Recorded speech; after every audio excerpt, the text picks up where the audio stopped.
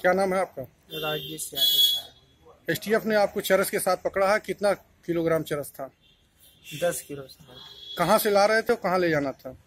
ला रहे बहू यहाँ बांसी बैठे और यहाँ रास्ते में पकड़ लिया।